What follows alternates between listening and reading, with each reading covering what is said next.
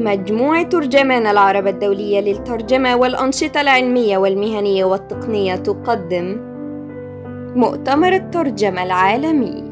تخليدا لذكرى عراب الترجمة وشيخ المترجمين الأستاذ الدكتور محمد عناني بمشاركة أساطير الترجمة في الوطن العربي والعالم.